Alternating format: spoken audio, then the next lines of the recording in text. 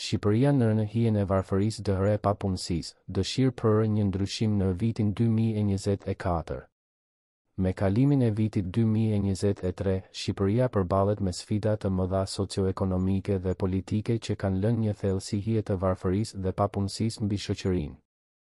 Një përshtypje e përgjithshme e shqiptarëve është se vendi po përjeton një kohë të vështirë, ku oligarkia duket të përfitojë, ndërsa varfëria dhe papunësia po përkeqësohen. Kryeministri dhe mungesa e një drejtimi të qartë. Shqipëria ka pasur kryeministra të ndryshëm në historinë e saj pas komunizmit, por nga viti dy mijë e njëmbëdhjetë e deri dy mijë e njëzet e tre, Edi Rama udhëhoqi qeverinë. Shumë prej shqiptarëve ndihen të zhgënjyer për mënyrën se si qeveria e tij ka menaxhuar çështjet ekonomike dhe sociale. Shqiptarët kanë nevojë për një drejtim të qartë dhe politika të përgjegjshme për të çuar vendin përpara. Varfëria dhe papunësia, realiteti i Shqipërisë.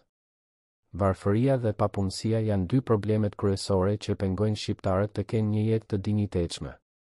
Në vitin dy mijë e njëzet e tre, shumë familje vuajtën për të përballuar nevojat e tyre themelore. Papunësia është një sfidë e madhe, veçanërisht për të rinjtë shqiptarë që ndihen të zhgënjyer nga mungesa e mundësive për punësim. Oligarkia dhe korrupsioni. Në krah të varfërisë dhe papunësisë, oligarkia dhe korrupsioni janë dukuritë që kanë përkeqësuar gjendjen. Një grup i vogël i pasur tërheq pasurinë dhe burimet ekonomike, ndërsa shumë shqiptarë vuajnë. Një qeverisje e hapur dhe transparente është e domosdoshme për të përballuar këtë problem të kancerit të shoqërisë. Shpresë për vitin dy mijë e njëzet e katër. Me gjithë këto sfida, shqiptarët mbajnë ende shpresë për një të ardhme më të mirë. Vitin dy mijë e njëzet e katër mund të sjellë një ndryshim, por kjo kërkon bashkëpunim të gjerë politik dhe angazhim për të përmirësuar situatën.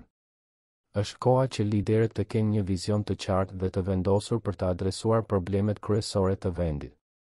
Shqipëria ka potencial të madh, dhe për zhvillimin e saj të qëndrueshëm është e nevojshme një qeverisje e përgjegjshme dhe një shoqëri ku të gjithë qytetarët kanë mundësi të barabarta për të ndikuar dhe përfituar nga zhvillimi ekonomik dhe social.